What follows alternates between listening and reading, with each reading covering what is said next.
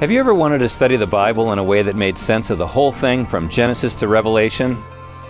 Have you ever thought about doing that in the context of all the historical and cultural background so that you might feel that you were walking on the very steps where Jesus walked?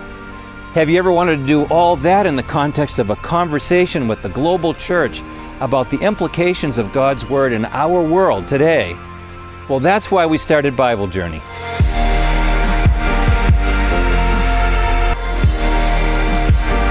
You start in the text looking for repetition and structure and, and words and themes that will be important throughout the Bible and look at ways that the whole Bible is interconnected. It was the book with stories. Stories that kindle the imagination. In particular, of course, the stories about the patriarchs. Jesus was telling a story about a man who actually cared, a man who bandaged the, the poor man and took care of him. He brought him to an inn. It's like from the tablet to the tablet. As Moses gave us tablets, and now we have new tablets, the technology. And we use really great media and visuals to give people a sense of the background that's cultural, historical, archaeological.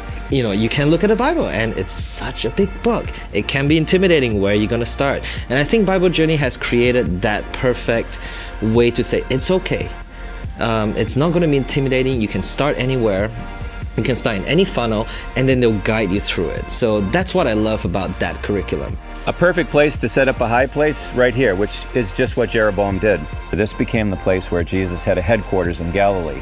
Between Jaffa and Caesarea, Christianity evolves from a Jewish movement to a global movement. Here at the ancient first century port of Cenchrea, Paul took off to head back to Jerusalem because he wanted to fulfill a vow, a Nazarite vow.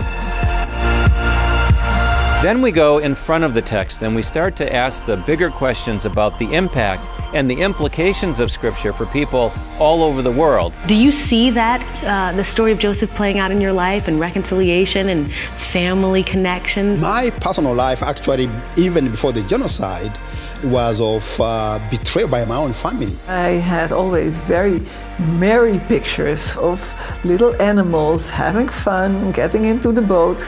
But after seeing the tsunami of uh, 12 years ago, my whole idea changed. So, as a Samaritan, I'm the one of this community who's keeping the rules of God and the rules of Torah.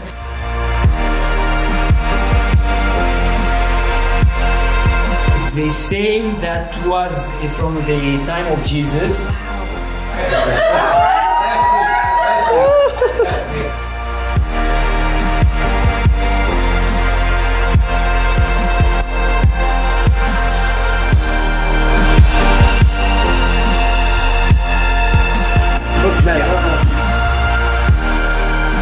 For so many people, reading scripture is one thing, making scripture come alive is another thing. It's like a pop up book. They learn to associate fun, exciting, cool, techie, geek stuff with the Bible. I never knew until Dr. Laniak's class that the Bible was all one story, that it was all connected. To listen to the testimonials of the people and the transformation in the lives that took place was just very powerful for us. We want to do whatever we can to take you all the way into the world of the Bible, the world behind the Bible, and we want to also take you into that world in front of the Bible where God's people are trying to make sense of His Word, and that's our goal.